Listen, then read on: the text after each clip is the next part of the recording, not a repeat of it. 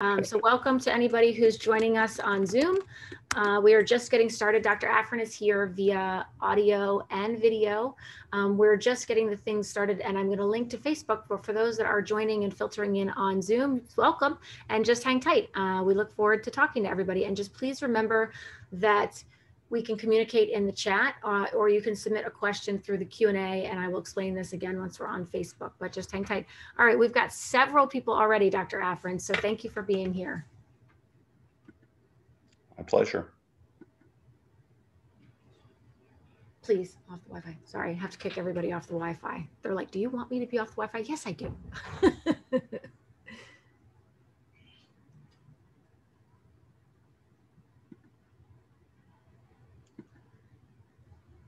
All right, let me pick the page.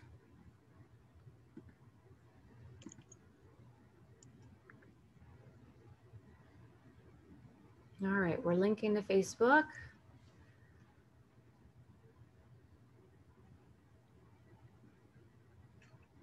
And we're almost rocking and rolling. I will say for those that are waiting on Zoom, that the previous recordings are also recorded and edited and up on YouTube. Um, and if you don't know where they are, I will share them again. But I've also found a way to do transcription. I don't know how effective it is just yet or how perfect, but I found a way to be able to do transcription, to be able to post previous Q&As and webinars, uh, the content from it. I just have to make sure that it's medically sound, but I have found the way to do that and also closed captioning. I am getting there. So this is a great opportunity. So just in case anybody's interested. All right, so live.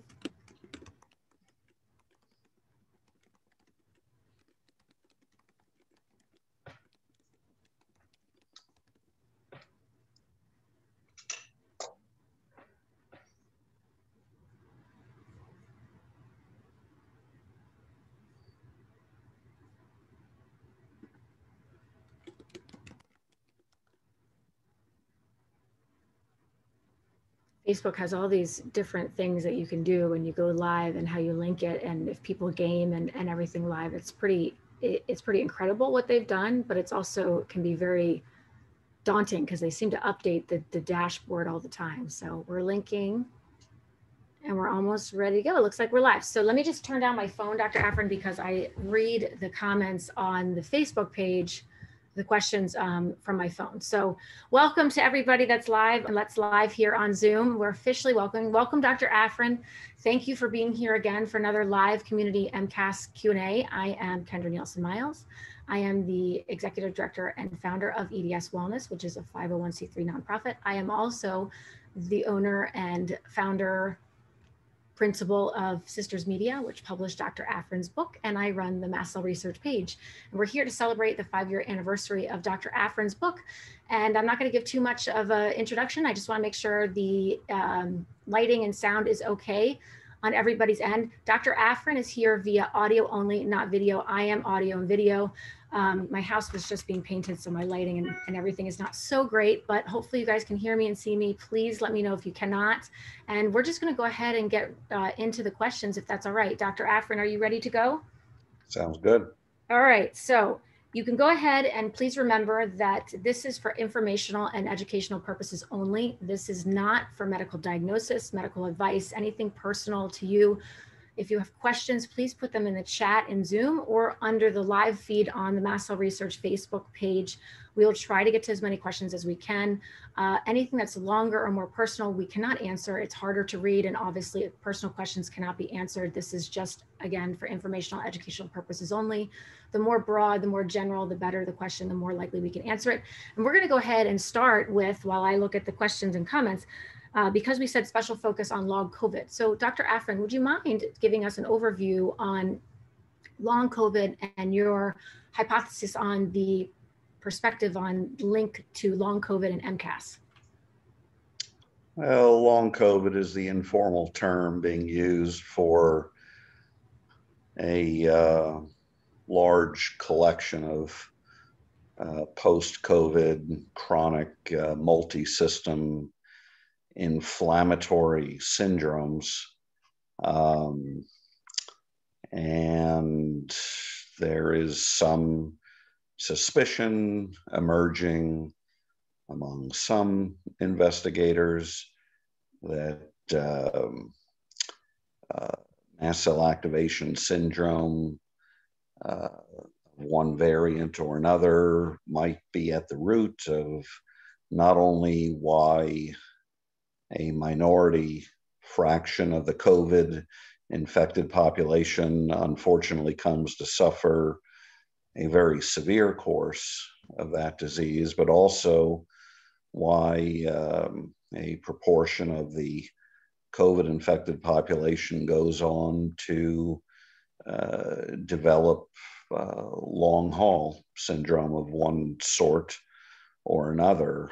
The, uh, the concept, and, and let's be real clear, we're talking hypothesis here. There's been zero research done to prove or disprove this hypothesis, but the uh, the concept is that there's something about the COVID virus that uh, provokes the dysfunctional mast cells that drive the, um, uh, the, the symptoms in an MCAS patient.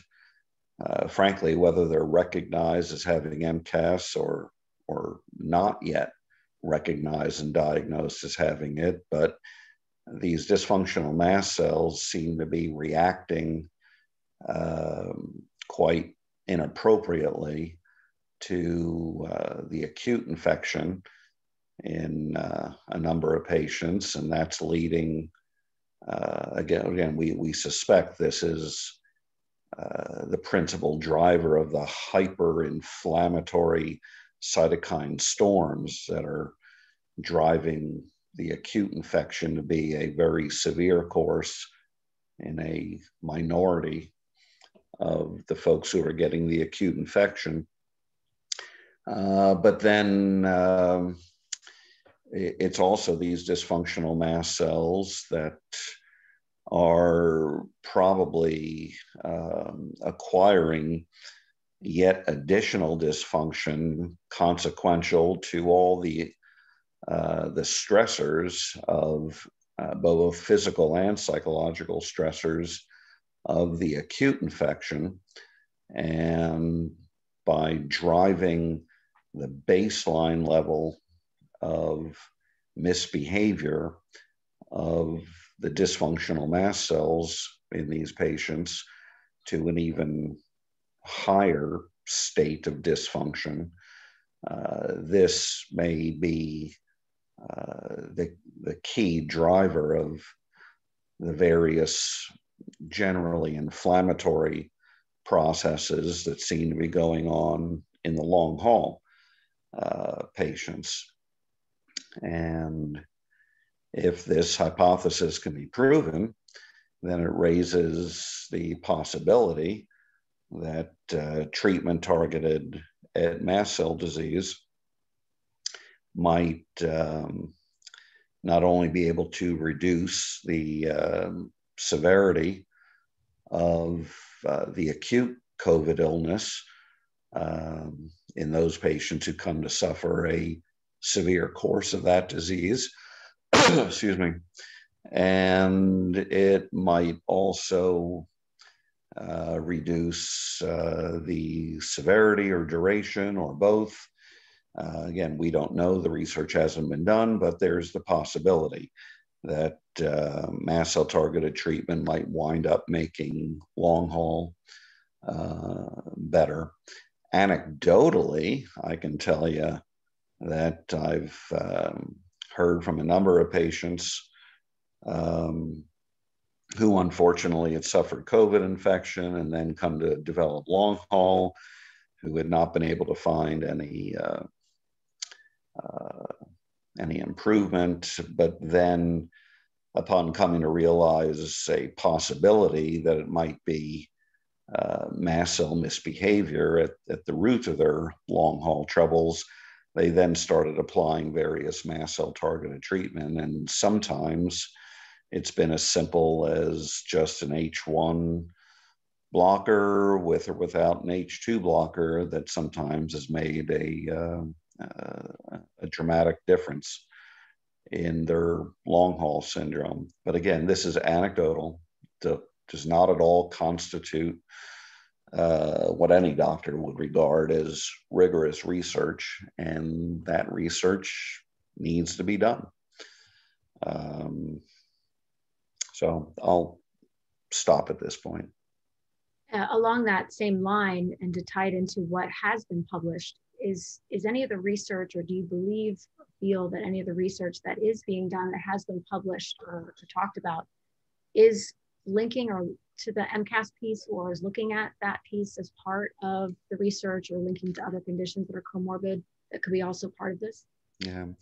There are a few small studies that have been published. Um, and when I say few, I, I think I can, I, I, think it may be one or two uh, that have demonstrated that the H2 blocker famotidine uh, can be helpful in acute um, COVID illness, uh, possibly also in long haul. But those papers did not make a clear connection to uh, MCAS. There's a large study going on right now, um, uh, sponsored by NIH, uh, many different American academic medical centers uh, participating in it that's looking at whether um, the COVID vaccines will cause uh, what, what basically looking at what percentage of patients with substantial allergy problems, including um, uh, mast cell activation disorders, will react severely to uh, one or another of the COVID vaccines uh, within the first um, uh, couple of hours after getting the shot. And that study, I think, is looking uh, to accrue, if I'm remembering correctly, somewhere around 3,000 patients and is expected to be finished. I think it's it's um, it was uh, scheduled to be open this month and to finish accruing the uh, the, the, the subjects in May with uh, first uh, reports from the study to be uh, published uh, as early as June.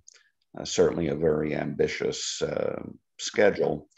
Um, but again, we have to keep in mind that's just looking at a very narrow focus of, you know, what what patients' immediate reactions to the vaccines will be, and it could be that some patients with mast cell disease are having uh, they might have issues with the vaccine that might come on somewhat later.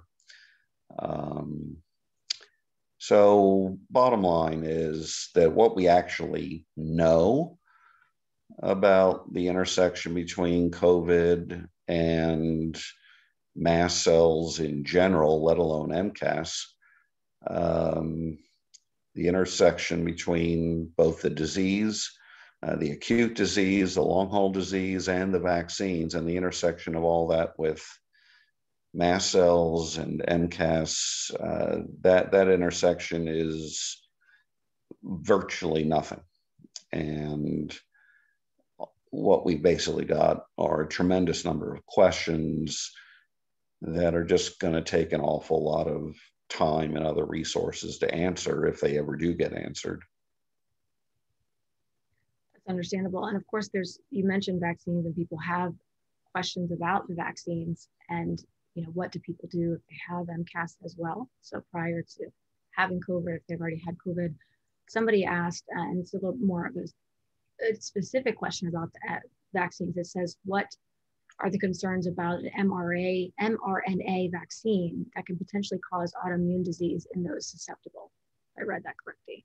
So I guess there's some speculation that mRNA vaccine can cause potentially cause autoimmune disease in those susceptible. I'm assuming the possible link to those who have MCAS. Do you know anything about that or had heard about that?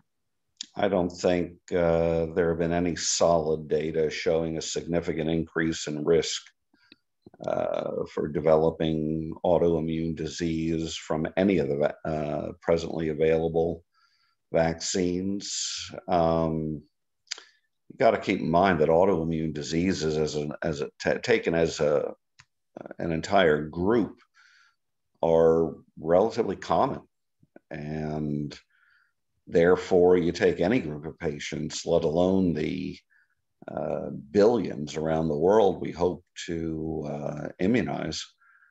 And it's kind of inevitable that a group that large is going to develop autoimmune diseases. Um, so, figuring out whether any of these vaccines actually triggered uh, any given patient's autoimmune disease, that's that's going to be pretty tricky. Um, I think that'll have to be taken on a that that sort of analysis has to be taken on a case by case basis uh, by the doctors who will be most intimately familiar with all of the details in each such patient's case. But at the moment, we, we just can't make any generalizations, and the available data don't suggest any uh, known uh, increased uh, risk for autoimmune or, frankly, any other diseases that I'm aware of from getting any of these uh, vaccine products. Somebody asked uh, along the same line, and I think we're just, I think you can answer this pretty quickly because you've already answered it somewhat before in other Q and A's, and it's along the same lines. If somebody has has MCAS and they have a history of anaphylactic reaction, uh, the concerns or not of the COVID vaccine. I know everything's really personal, and you can't give personal advice. Um, I, I, I can understand why somebody who's um, anaphylaxed previously might have concerns, but um, that has to be weighed against the very real, very serious concern about an unvaccinated person acquiring uh, infection from this virus, which is known to be present at pandemic levels in the population and which is and, and a virus which is known to be extraordinarily contagious. And that's just the wild type virus let alone the assorted variants that are now emerging around the world that seem to be even more contagious. So i don't think there's going to be any um, any easy yes or no answer to you know should i or should i not get vaccinated for people who have had troubles um, with anaphylaxis in the past? Because uh, because i think everybody's going to approach this this balancing of the benefits from gaining protection against a terrible virus uh, against the risks. Um,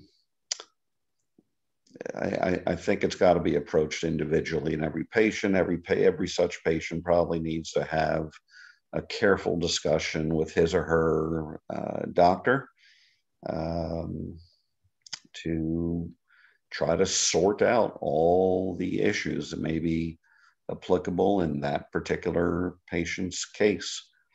Uh, it's very hard to make generalizations uh, in this sort. Not the only generalization I can make is that in my time, my uh, roughly 13 years now, uh, tending to mast cell disease across thousands of patients, um, in general, and, and again, it's just a generalization. You can always find exceptions. But in general, um, mast cell patients' past performance with any given type of treatment uh, or exposure tends to be predictive of how they're going to do, how they'll perform with future similar exposures. So, if the patient has done okay with vaccinations in the past, they're likely to do well with vaccinations of any type, whether for COVID or, or any other infectious disease in the future.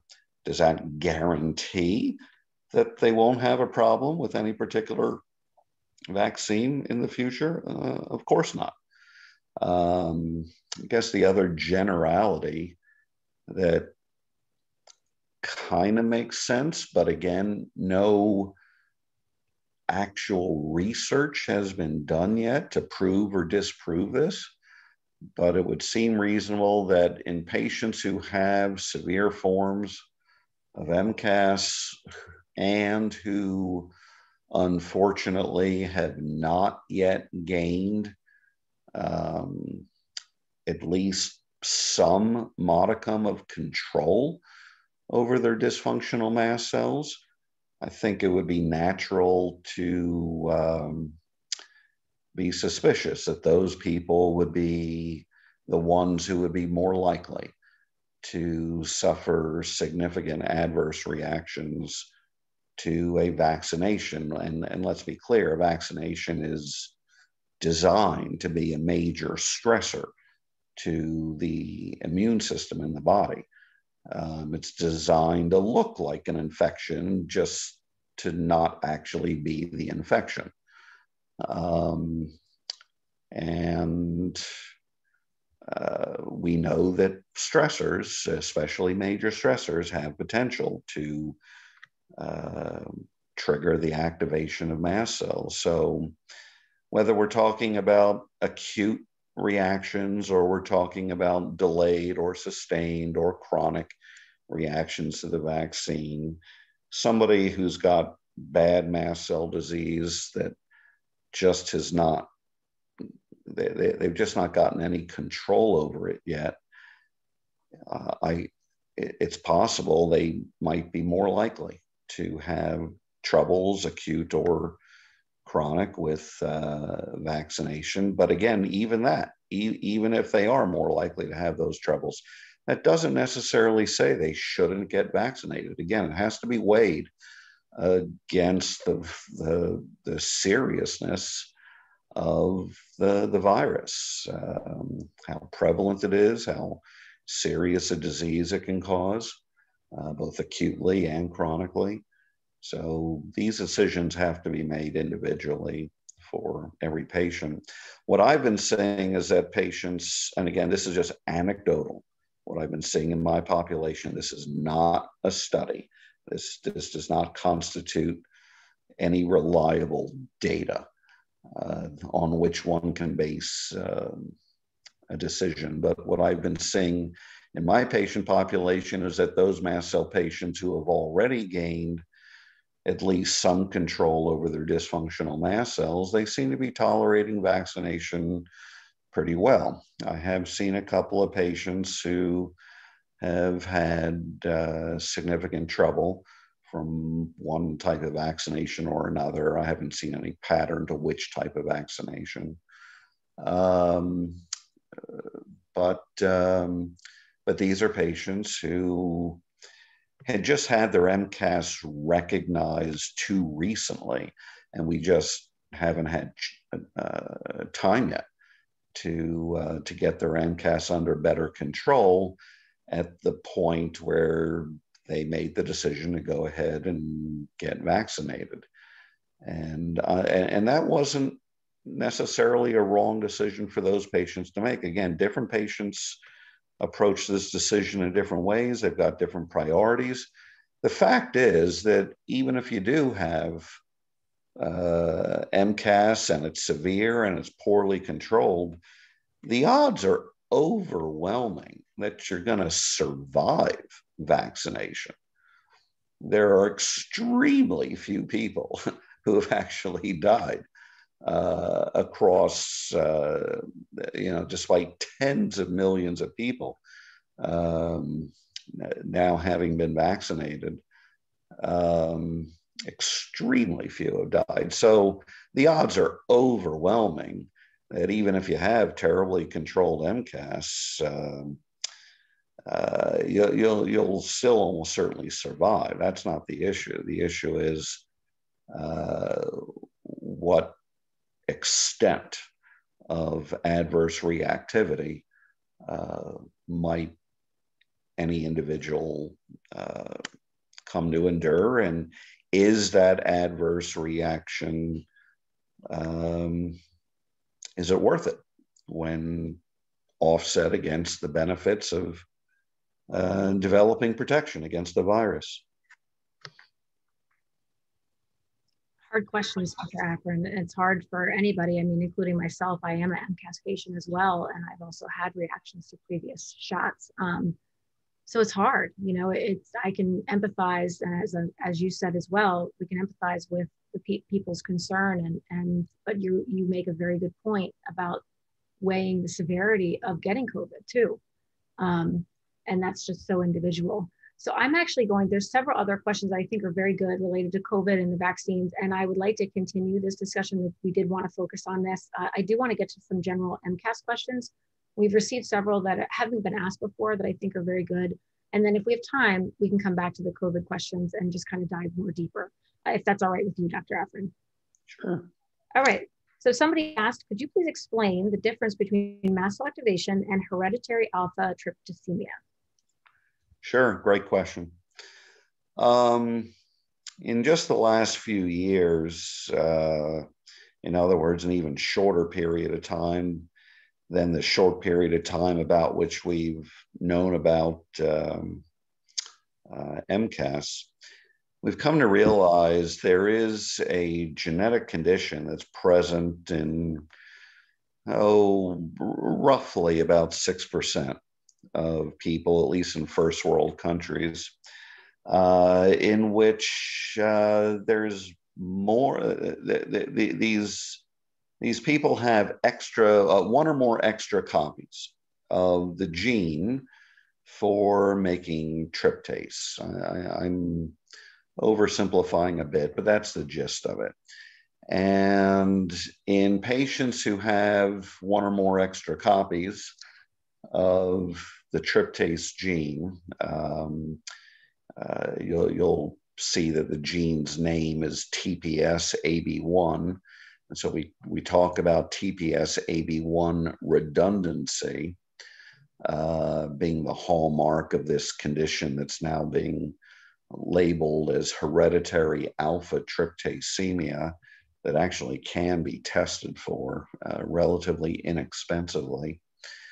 Um, so about 6% of the population has this. And because it's a genetic condition, so they've had the extra copy of the tryptase gene uh, baked into the genetic code, uh, the genome, in literally every cell of their body from literally conception all the way through and till they die decades later. And these extra copies of the tryptase gene inescapably drive excessive production of tryptase. It's, it's not a, in, in the great majority of these patients, it's not a huge excess. Uh, it's usually pretty modest. Sometimes it's not even enough to lift the tryptase level uh, the, the, the, concentration of, of the tryptase protein that's being made from the tryptase gene sometimes is not even enough to lift the uh, concentration of the tryptase protein uh, above the upper limit of the normal range. I mean, we know there are roughly, oh, about 8% or so of the population with hereditary alpha tryptasemia that have a completely normal um, uh, tryptase level. Um, but you can still find the, uh, the excess copies of the gene in them. Um, so the, and we also know that a large proportion um, of the population that has hereditary alpha tryptasemia have a large assortment of chronic multi-system inflammatory symptoms that uh, heavily overlap, uh, virtually indistinguishable from what we see in MCAS. And the question that naturally comes up is is it this little bit of excess tryptase production that is actually driving all these symptoms? Um, and I don't know that anybody has a clear answer on that yet. My best guess is that since we know uh, another thing we also know from the early research in hereditary alpha tryptasemia is that uh, there's also a, a, uh, small proportion of that population, again, roughly 8%. It varies a little bit from that figure depending on what study you look at, but roughly 8% of them actually don't have any symptoms at all. Yes, the majority of them do have MCAS like symptoms, but many of these patients, um, well, not many, but but some of these hereditary alpha tryptasemia patients who absolutely have an, um, a modestly elevated tryptase level. Uh, and it's a very steady and stable thing because, again, it's baked into their genetic code. Um, and yet they have no symptoms at all.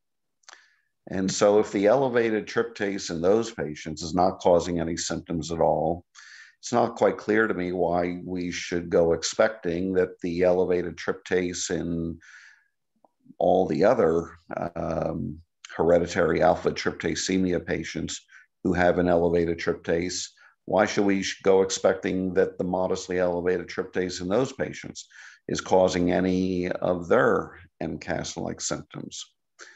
And I suspect that it probably isn't. Um, and instead, um, what I've been seeing in my patient population is that um, there is plenty of other evidence of mast cell activation um, in virtually every um, hereditary alpha tryptasemia uh, patient. And what they have is MCAS with the additional finding, kind of coincidental finding of hereditary alpha tryptasemia.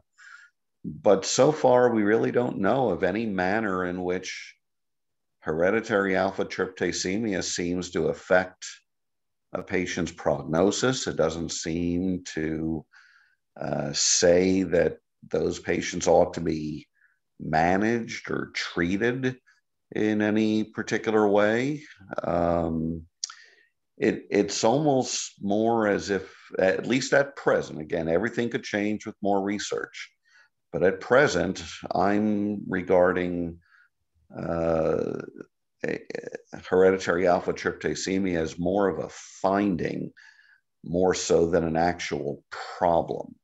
If, if you understand the distinction I'm trying to make here, it, it's more of a finding than a problem, which needs, uh, which is going to significantly impact the patient's life and potentially needs treatment. Um, but those patients could could easily have MCAS, and even though MCAS is not known to affect prognosis in most patients, obviously it causes symptoms in a lot of people and does need to be managed.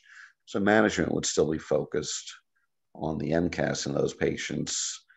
We really don't know of any way that hereditary alpha tryptas, uh, tryptasemia needs to be managed that's uh, any different than how MCAS gets managed. So it sounds as though it's somewhat of possibly a type of MCAS. Is that possible? Subset? Well, I I just not entirely sure I would say that. I, I, I probably the best way to the most accurate way to phrase it is that yes, there is a subpopulation, uh, probably a fairly small subpopulation of MCAS patients who have the additional finding of extra copies of the tryptase gene. But so far, nobody has identified any um, clinically significant consequences to having those extra copies of the alpha tryptase gene. So, yes, you could technically say that having those extra copies of the tryptase gene defines a subpopulation of MCAS patients, but I don't know that it's a whole that it's all that useful to go defining subpopulations when there's really not going to be anything about a particular subpopulation that's different from the main population with regard to prognosis or treatment. Again, this could all change down the road with more research that actually does find something of prognostic or therapeutic significance in hereditary alpha tryptasemia, but we're not seeing any such findings in the early research. All right. Well, along those uh, same lines, talking about the differences between you know alpha hereditary alpha tryptasemia. Speaking, trying to ask a question really too fast. I should slow down. So between hereditary alpha tryptasemia and systemic mastocytosis and mast cell activation, is it true that you can only be possible, positive for technically one of those conditions? No, no, because as we just said, you can easily have mast cell activation syndrome and also have hereditary alpha tryptasemia. It, where it perhaps becomes useful to understand that a patient has hereditary alpha tryptasemia is that in the minority of MCAS patients in whom we do find a mild elevation in tryptase, in the past, we've always taken that elevated tryptase to actually be a marker of activation of the mast cell. But now that we understand that there is this condition called hereditary alpha tryptasemia, where these patients have an extra copy of the tryptase gene that is just cranking out extra tryptase um, w- w- really without any regulation from, from conception to death. Uh, and, and, you know, in other words, in those patients, we should uh, expect that they're going to have a mildly elevated tryptase level. Well, in those patients, you obviously don't have nearly as much confidence that the elevated tryptase level in those patients truly reflects inappropriate activation of the mast cell, that of course is the key feature of mast cell activation syndrome. Um, I would think that once you have found a patient to have an extra copy of the tryptase gene, you kind of have to assume that any extra tryptase, any tryptase that's uh, any tryptase levels that are modestly above the upper limit of normal, you pretty much have to assume that they are consequential to uh, the extra copy of the tryptase gene. And therefore, in those patients, it just strikes me you can't really use that elevated tryptase level as a marker of uh, activation of the mast cell. So if you do have a clinical suspicion of MCAS in those patients, you're going to have to find the evidence of activation through testing other than the tryptase level. And fortunately, there are, you know, quite a number of other tests that we can apply to um, to see whether somebody has mast cell activation. All right, well, thank you. Somebody had asked that question about having all of them, and is it is it important to also test for all of them in order to rule anything else out? Um, you know, it is uh, again somebody can have an extra copy of the tryptase gene independent of anything else going on in them. So yes, it's also possible to have systemic mastocytosis and also have hereditary alpha tryptasemia. But you got to keep in mind in those patients, uh, the, the, the, the basic nature of systemic mastocytosis is that in the great majority of those patients, precisely because it's um, it's a cancerous like over proliferation, a gross over proliferation of the mast cells. The great majority of systemic mastocytosis patients are producing oh. very high. We lost you for just a second, but you said the I lost you at you said the great majority of mast cell patients something.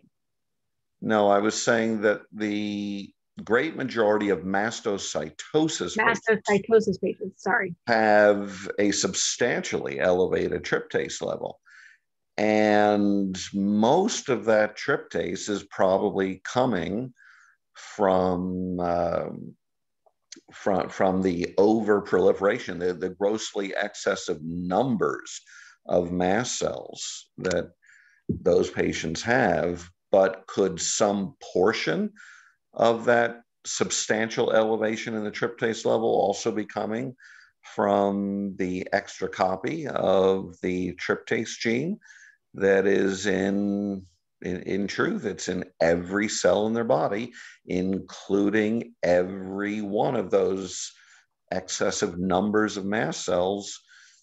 Yeah, that's that's certainly possible.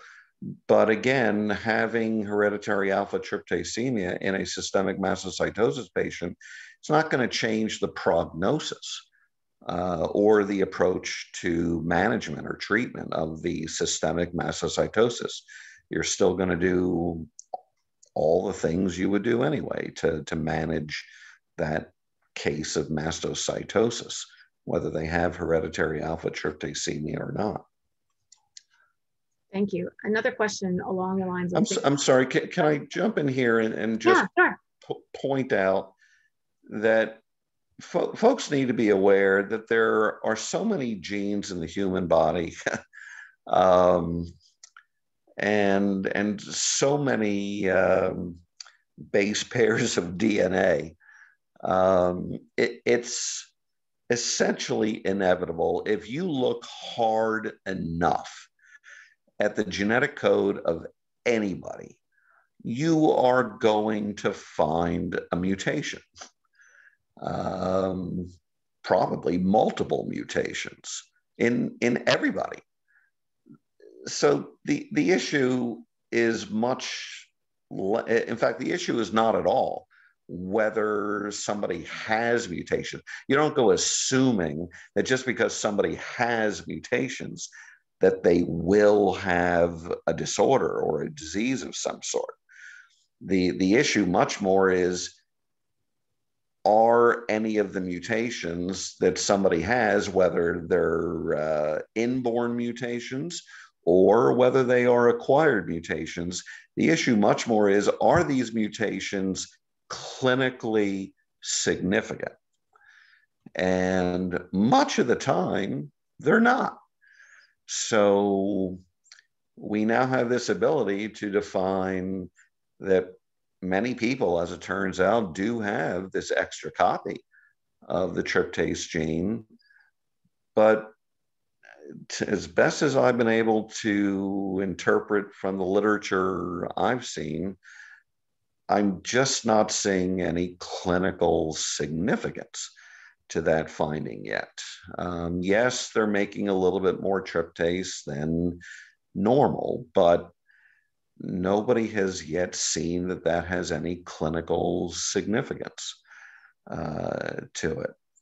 So um, people need to be careful about not freaking out, so to speak, when they say do a 23andMe uh, whole genome analysis and they get back this uh, huge report that shows they've got all these mutations in them uh, you, you just can't freak out about that because the great majority of them, perhaps even all of uh, them, uh, probably will not have any uh, clinical significance. Uh, so it, unfortunately, our ability, our scientific, our technical ability to detect mutations has gotten way further ahead than our ability to understand what the significance of any given mutation is. And it's leading to an awful lot of anxiety by patients who are getting various genetic analyses done and saying, oh my God, I've got this mutation, I've got that mutation, my life is over, or I'm going to have this problem or that problem. And no, no, no, no, no. Everybody has mutations. Most of them are not significant, and you have to have some pretty careful and detailed discussions with whatever particular type of doctor it is who's best qualified to understand the significance or lack thereof of any particular mutation to help you understand what the true meaning for for, for you the individual patient is uh, of the information you're getting back in these reports. I think that's a really good point also along the lines of why those that have the heter- have the hereditary tryptasemia that there's a significant difference in terms of their presentation of symptoms. I mean, there's just a lot of different factors that go into how we present and what becomes pathogenic in our body. Is that correct too? I mean, we don't know why there's such a difference. Either somebody could have triple copies or double copies, why there's such a significant difference in how those present versus why those somebody that doesn't have it has more severe symptoms. So we have so many well, genes and so many different factors that go into all of this. I mean, we know from the preliminary research in MCAS so far that the majority of MCAS patients um, have any of a huge variety of mutations in a wide variety of genes of regulatory importance to the mast cells.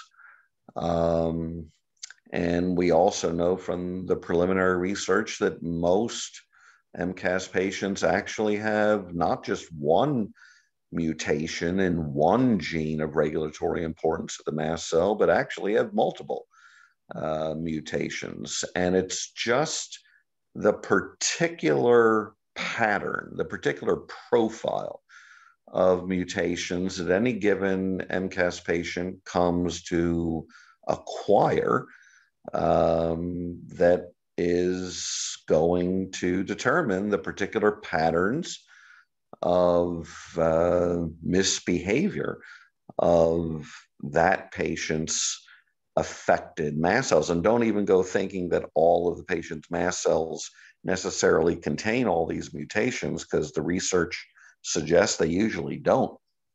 Uh, probably a good portion of a mast cell patient's overall population of mast cells are completely normal, and it's just a fraction that bear these uh, mutations that are driving dysregulated behavior of those mutated mast cells. And it's just a particular pattern of mutations that defines the particular patterns of misbehavior we see. Not only misbehavior at a baseline level, but, uh, you know, kind of constant, chronic, all the time misbehavior, what we call cons- constitutive misbehavior, but also uh, reactive misbehavior, you know, reacting uh, to one provocation, one trigger or exposure or another. Um, different mutations might well lead a mast cell to react to different triggers. Um, the complexity of all this is just orders of magnitude beyond what doctors have had to deal with with most diseases in the past.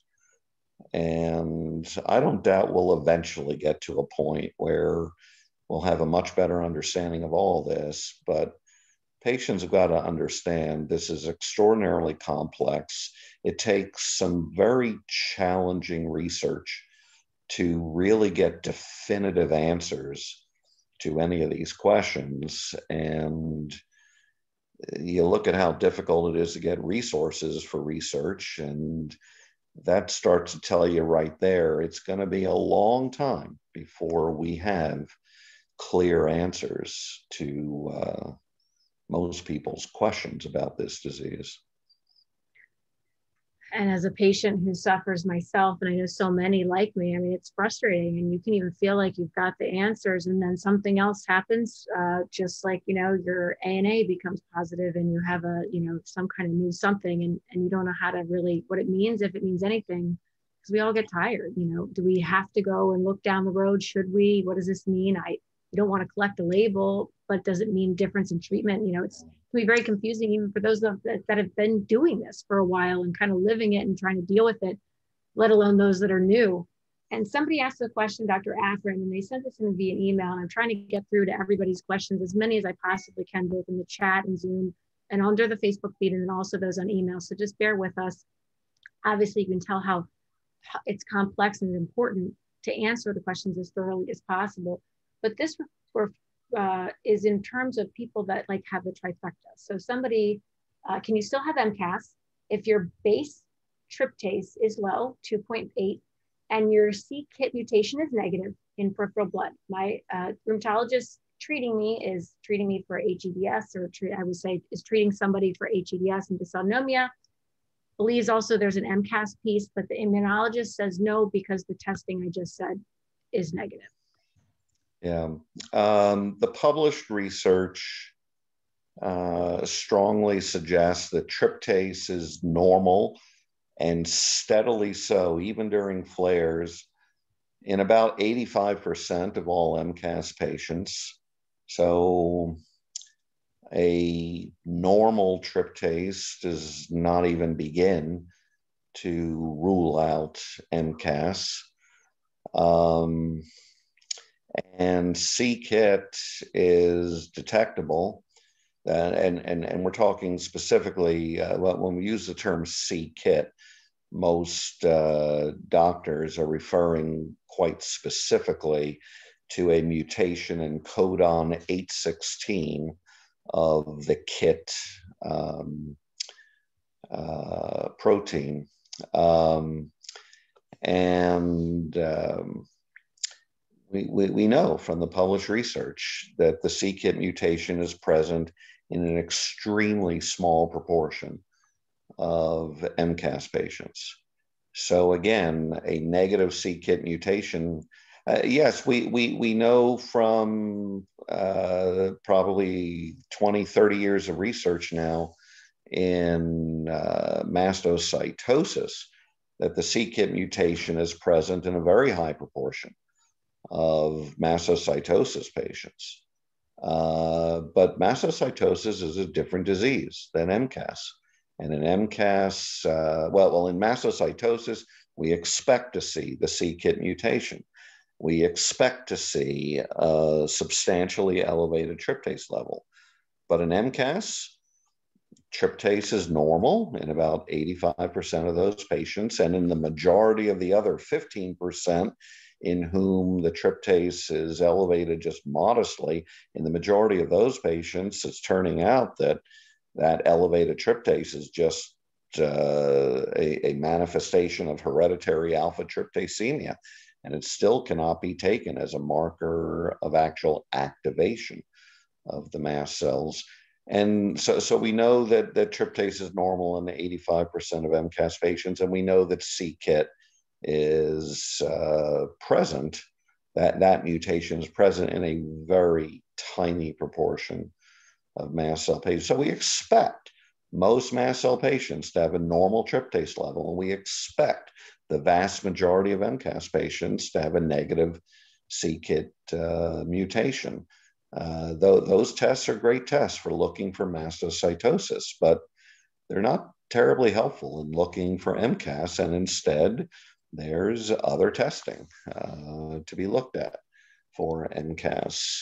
And Uh, hopefully, the rheumatologist that was mentioned a moment ago, hopefully at some point he'll be willing to learn about the other testing. Yeah, and, and that email just so I think is the, the rheumatologist was speculating.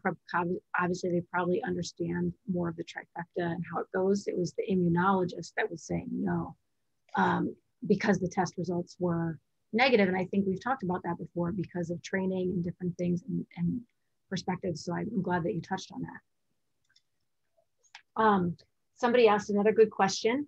Uh, this came from somebody who's in Europe, so I wanted to make sure I uh, got to it because they're going to watch the recording, Dr. Afrin.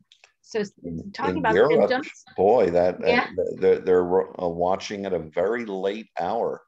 Uh, yeah, we actually have several people that watch and would either watch the recording or send questions ahead of time or, or watch, stay up to watch it. So Dr. Afrin, you're getting around globally. People really appreciate your time in doing this. So I want to be cognizant of that and try to get to as many questions as possible, but also understanding it's about 8.56. So, and we said we'll do an hour and I know we've done these before and hopefully we'll continue in the future. Uh, we just appreciate your time. So I'm gonna try to get to this question uh, and then one more and then we can and discuss what time frame you would like to, to go with. Um, somebody said, the person said that after each meal, I'm gonna try to make this as general as possible. After each meal, uh, if somebody has a you know symptoms in their throat dryness hoarseness uh, pain sensation like they can't swallow uh, it's about lasts about two hours after eating um, sats are fine so oxygen saturation is fine um, can this be an mcas symptom rather than something like reflux or something problems with the cervical spine. Yeah it's possible. Um, you know i, I the, the general point to be made here is one I've made many times previously that, you know, I'm not, uh, I, I've never said that every person who has some odd assortment of symptoms or some, you know, complex of chronic multi-system inflammatory and allergic issues. I'm not trying to say every one of those patients has MCAS at the root of it. What I think we need to understand, however, is that it's now pretty clear uh, that MCAS is a prevalent disorder. And therefore, in patients who do develop uh, chronic multi system inflammatory and allergic disorders, um, it now becomes reasonable to consider MCAS as a possible diagnosis in those patients and to pursue evaluation for it, particularly if evaluation for other uh, uh, diagnoses doesn't seem to pan out. All right. So talking, uh, it, well, before I ask anything more, Dr. Afrin, it is eight 57 probably now. How long would you like to go? I know we said about seven to eight. Do you want to stop hard at eight o'clock? I know you, I want to be cognizant of your time and we appreciate whatever time you have and just even the hour that you spent with us. Uh, Kendra, I think the clocks in your house are a little off or maybe on your computer. Oh my gosh. Because it's not 857, it's oh, actually 7 seven. I'm sorry, seven fifty nine. Uh, but uh, we, we, I, I did read it. I'm trying to manage several different screens, Doctor. I'm sorry, I did read it. Seven fifty nine. well, I'm okay with going another half hour, but at eight thirty, we really need to uh, wrap it up. All right. So I'm going to go back to this is a great question, going back to the genetic component and about what we speculate and what we're learning about um, MCAS and where it comes from and what causes it and these different mutations somebody asked a good question that said, if you're going back to, uh, let me read it, go back. So if you're talking about mast cells, if not all mast cells always share the same mutation, and this is going back to what you were talking about before, are you indicating some of the mutations are possible de novo, de novo uh, or even perhaps most are, meaning like they're spontaneous new mutations, um, such as in response to trauma or stress? Or the environment?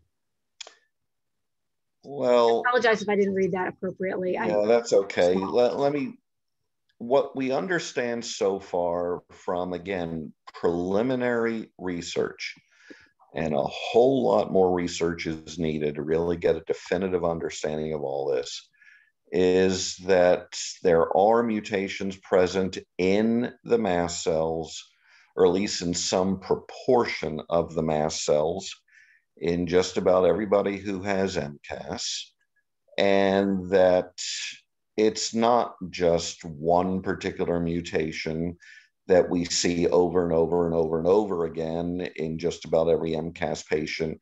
Uh, so it's not the situation you have in mastocytosis, where just about every patient has a KIT codon 816 mutation. And instead, uh, it is a huge menagerie of mutations that are seen across uh, a large assortment of uh, genes of regulatory importance to the mast cell. That's what's being seen from one mast cell patient to the next, to the next, to the next. And it's a it's just a different set of mutations in the mutated mast cells in each patient. Um, I don't doubt that over time, as more research gets done, we'll start to identify at least some patterns of this. For example, there's developing suspicion that um, the connective tissue anomalies that you see in hypermobile Ehlers-Danlos syndrome might be consequential to one or more of these mutations in the mast cells in, in MCAS.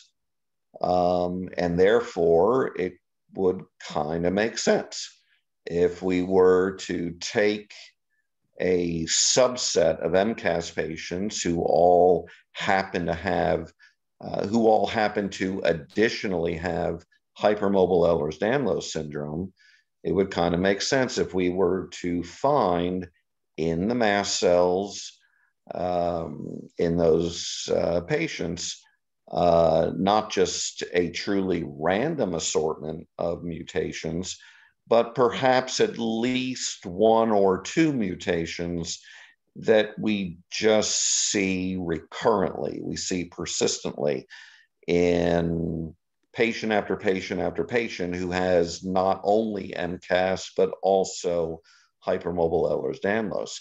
And in, when you start finding patterns like that, that makes you then start wondering, aha, maybe these recurrent mutations happen to be what's driving the hypermobile Ehlers-Danlos part of the overall MCAS that's present in in that patient. Um, but again, this is all theorizing, hypothesizing. That research has not been done, and it would be nice to see it done, uh, but we are sure not would. there yet. Um, now, let me also be clear. Uh, I think I alluded to this before, but um, if, if I re- repeat myself, so be it. This is important the great majority of these we know this from the preliminary research and yes it's preliminary so it could always change in the end but what we understand so far is that the great majority of these mutations that are found in the mast cells in an MCAS patient or at least in some proportion of the mast cells in any given MCAS patient's body these are not inherited they're not inborn they're not congenital they're not what we call germline mutations that uh, would be present. I mean, the nature of a congenital mutation is such that it's present at conception and therefore is going to be replicated into literally every cell in the patient's body from conception to death. And that's not what's going on with the great majority of the mutations in the dysfunctional mast cells in an MCAS patient's body. And instead, the research strongly suggests that uh, the, these mutations in the mast cells are acquired mutations. We use the term, uh, medically, we use the term somatic mutations as opposed to the germline mutations that are the inborn or congenital or inherited mutations. But the somatic mutations are acquired at various stages in a patient's life, typically starting relatively early. Uh, but we strongly suspect that as time goes on and a patient gets exposed to various stressors, uh, various stressors have varying abilities to induce additional somatic mutations, which may explain why over time a patient's mast cell activation syndrome uh, occasionally comes to escalate its baseline level of misbehavior of the uh, dysfunctional mast cells. And these these uh, i'm not talking about just a, a, short little flare of symptoms in reaction to some you know uh, incidental exposure. I'm talking about a major sustained often permanent uh, worsening of symptoms. And that, that, that's what i'm talking about with uh, when i use the word escalation and these escalations uh, what we've been observing is that they tend to shortly follow a major stressor, either a, a, major physical stressor or a major psychological or emotional stressor. And by shortly follow, I mean anywhere from a few days to at most a few months. Um, but it seems that major stressors um, have the ability to induce uh, additional mutations. And if they happen to be mutations uh, in a gene of regulatory importance in the mast cell, then that can that has potential for causing additional misbehavior by the mast cell and additional inappropriate production and release of various mediators by the mutated mast cell. And it's that inappropriate mediator production and release, regardless of whether it's driven by mutations, as we think is going on in most MCAS patients, or sometimes the mast cells actually have no mutations. Um,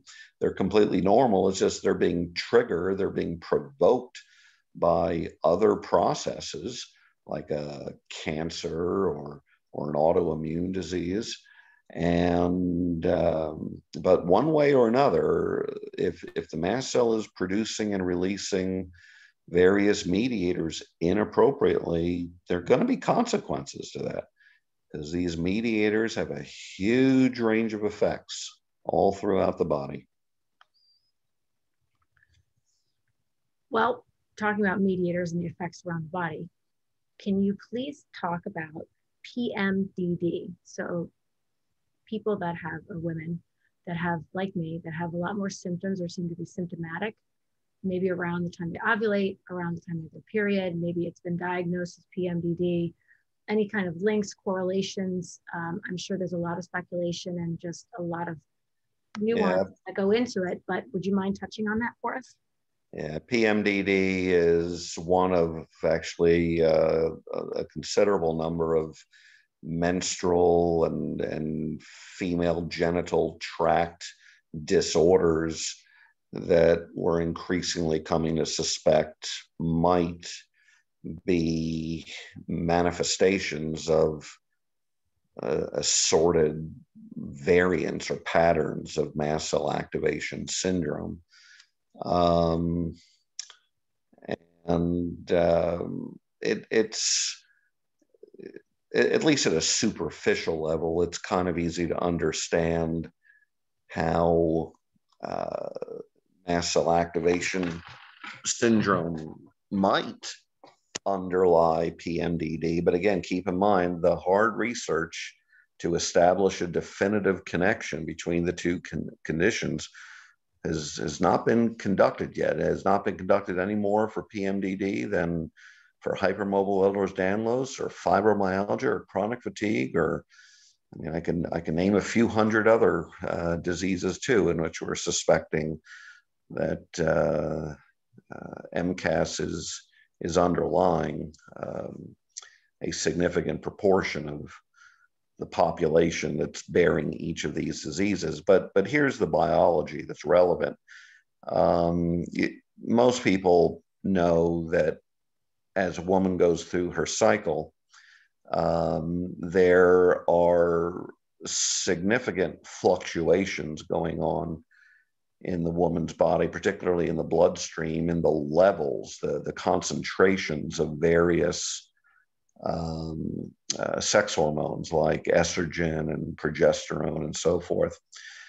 Well, it turns out that um, there are receptors on the surfaces of the mast cells for all of these major sex hormones.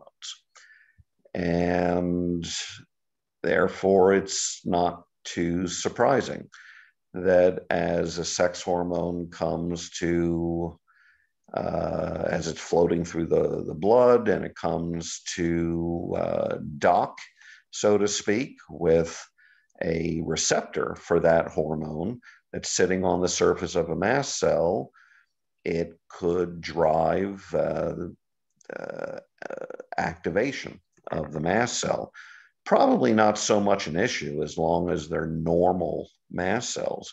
I think where the problem comes in is when some proportion of the mast cells in the woman's body are not normal. They're they're abnormal, they're dysfunctional. They are the mast cells that essentially define that woman to have a mast cell activation syndrome.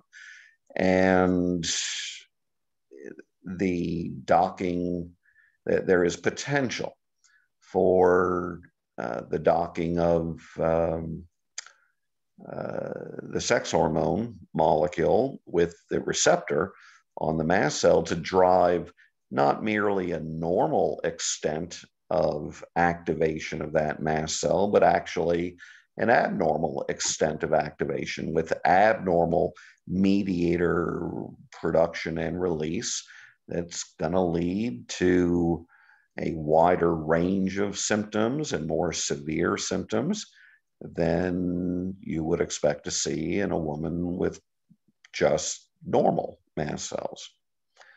So, um, uh, in in some of these women, uh, yes, you can gain better control over the PMDD by uh, applying various treatments that may impede the fluctuations of the hormone levels. But in some PMDD patients, um, when those hormonal type approaches don't prove to be as helpful as everybody might like, it's possible you might, especially in those patients in whom you do the diagnostic work and you prove that, oh, it's not just PMDD they have. No, they have a, clear case of MCAS. Well, then in those patients, you apply mast cell targeted treatment and you might suddenly start seeing significantly better control over the PMDD than you were able to get previously from any standard, so to speak, PMDD targeted treatment.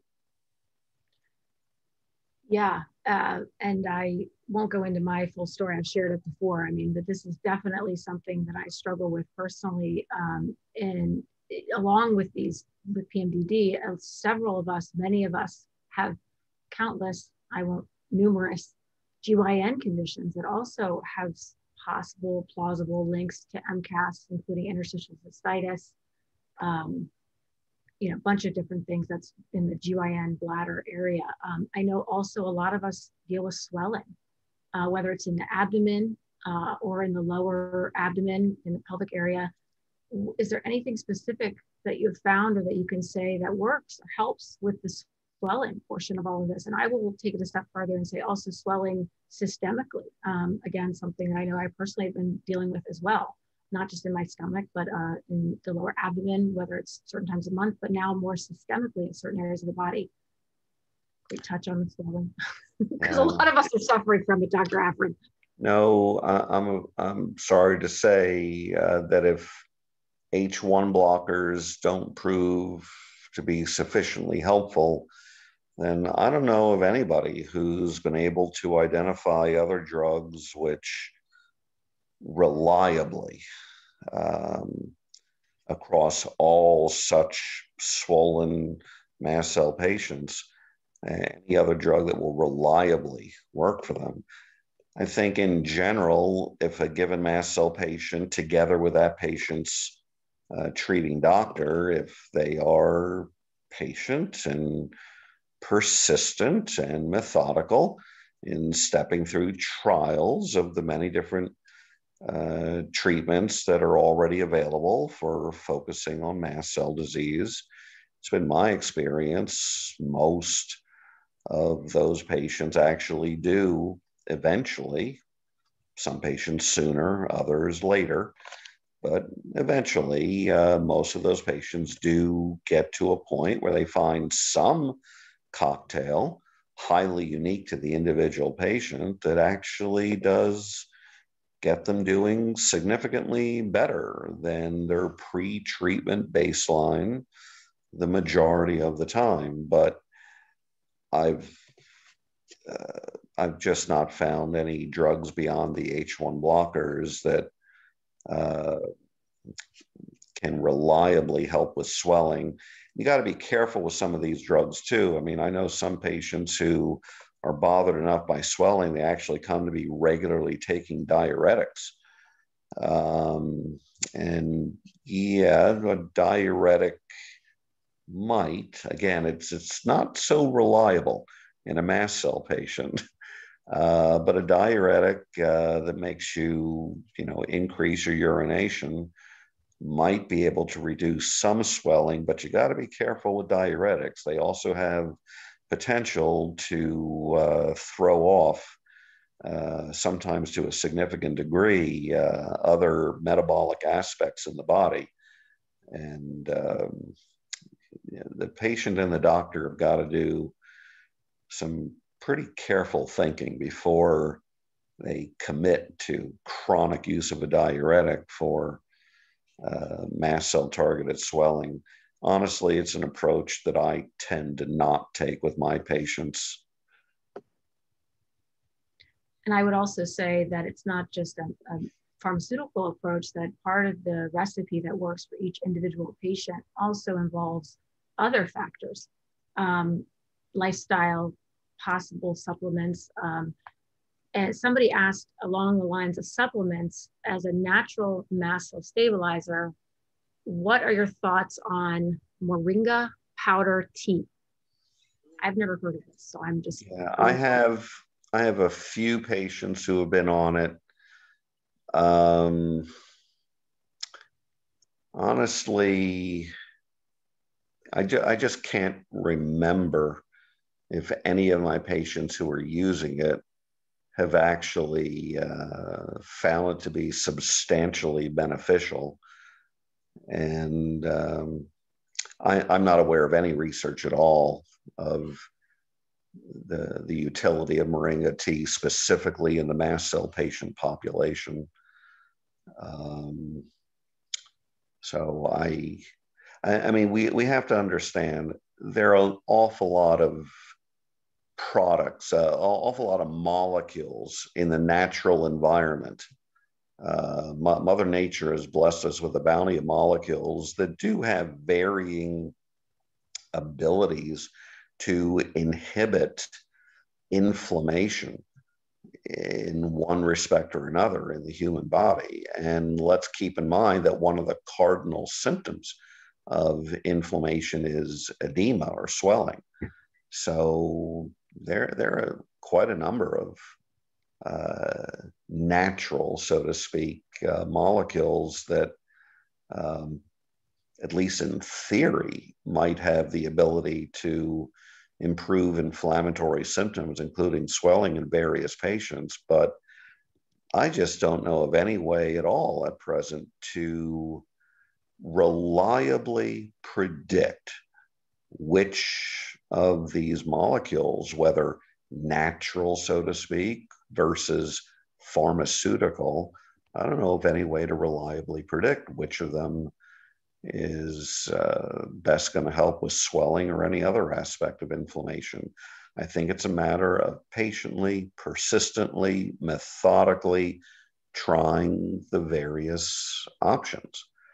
Um, there are very few drugs where we've come to understand pretty reliably um, the, the benefits those, those drugs bring. And I guess it again goes that it's all so independent to the person and their body and what they've got going on and what works best for them. Different so patients have different mutations, different patterns of mutations, and therefore they're probably going to respond to different medications and different uh, combinations of medications. We'll eventually figure it all out, but give us at least several decades. After we've been suffering for decades, Dr. Afrin, come on. Hey, hey, hey, hey. Uh, listen, you know, I, I've been sounding, you know, negative about how long it's going to take for additional research to be done. But at the same time, it has to be kept in mind that for all of human history, this disease existed. And yet, for hundreds, for thousands of years, these patients were out there and they went from their earliest years all the way through to death, just never being recognized for what's wrong with them. In fact, as a result, because nobody could ever identify a diagnosis in them, most people, their doctors, their family, their friends, probably came to think they were psychosomatic. Uh, and, and so we're finally at a point where we actually do know the disease exists. We're able to test for it. We can prove its presence. And in fact, even though we've only known about it for about a dozen years, turns out we've already got a boatload of drugs that have been found helpful in various MCAS patients. And that's a whole lot better uh, situation than you got with an awful lot of other diseases that we've known about way longer than mast cell disease, but for which we still have few to no treatments available. So, yeah, it's kind of like that lemonade glass that's half full. You can focus on the negative, on on oh it's it's half empty, uh, or you can look at the good side and, and say, yeah, we got challenges for sure, but uh, you know when you especially when you're talking about a disease that's as prevalent as we're we're we're now thinking it is isn't it a great thing that we understand it exists and we are learning how to recognize it and we can diagnose it and we can usually effectively treat it. I mean, I'm again, I'm not saying that treatment is is easy. I mean, if there were anything easy about this disease, we would have figured it out a long time ago. Uh, the the only problems left to be solved are the complicated ones, and it doesn't get any more complicated than MCAS.